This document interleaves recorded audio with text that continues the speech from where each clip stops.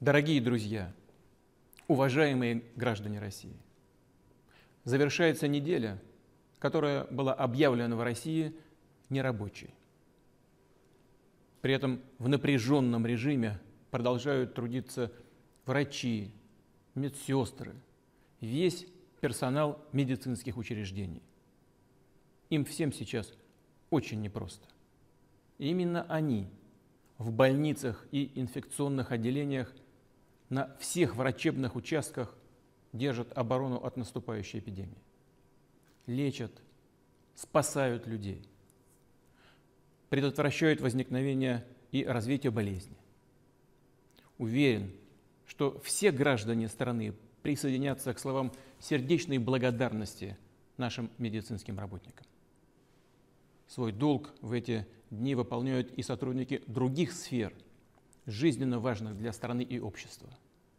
Хотел бы также искренне поблагодарить вас, вас всех, без исключения. И, конечно, сказать спасибо волонтерам, добровольцам, неравнодушным людям.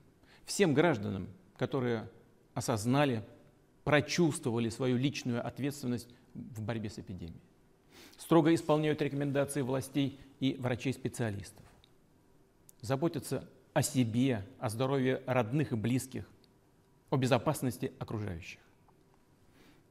Нерабочая неделя, объявленная по всей стране, а также режим самоизоляции, предусмотренные для жителей многих регионов, позволили нам выиграть время для упреждающих действий, для мобилизации всех органов власти, для наращивания ресурсов системы здравоохранения.